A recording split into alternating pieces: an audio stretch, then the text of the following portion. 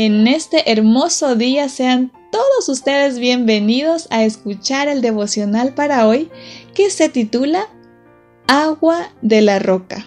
El versículo para memorizar se encuentra registrado en el libro de Éxodo, capítulo 17, versículo 6. Cuando golpees la roca, saldrá agua de ella para que beba la gente. Tener sed es una sensación desagradable y solamente puede saciarse con agua. No sé si has estado en el desierto, pero el pueblo de Israel caminó durante 40 años por allí. Fue después que Moisés liberó de la esclavitud al pueblo de Israel.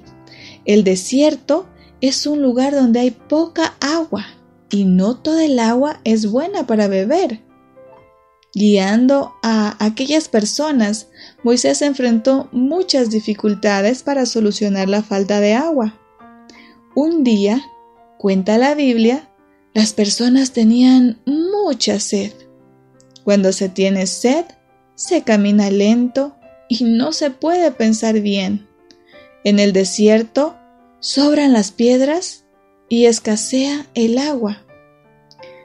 Tú no puedes sacar agua de una piedra, ¿o sí? Definitivamente no. Pero puedes ofrecer agua al que tenga sed. Así harás lo mejor posible. Dios hizo brotar agua de una piedra para saciar la sed de aquellas personas. Dios puede hacer lo imposible para ayudarnos. Te invito a que hablemos con Dios. Querido Dios, cuando yo tenga problemas, ayúdame a recordar el agua que fue sacada de una piedra y que todo es posible para ti. Amén. Amiguitos, les dejo con esta reflexión. Recuerden que para Dios no hay nada imposible.